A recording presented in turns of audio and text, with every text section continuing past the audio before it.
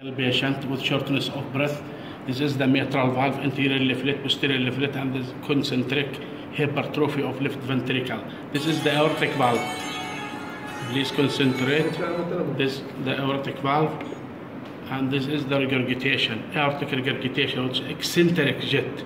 This eccentric jet is so difficult to evaluate.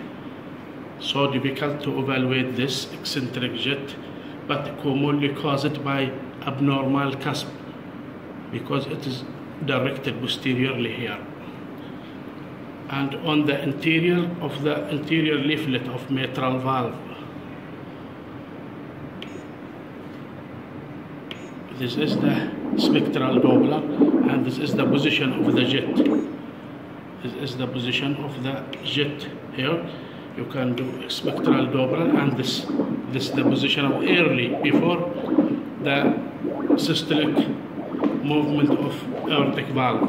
It's okay. It's a nice case, but need to to correlate and to exclude what the bicuspid aortic valve here is normal, normal tricuspid valve, but an aortic regurgitation occur. Otherwise, the contractility it is good, but it need follow up. Thank you for your listening and watching.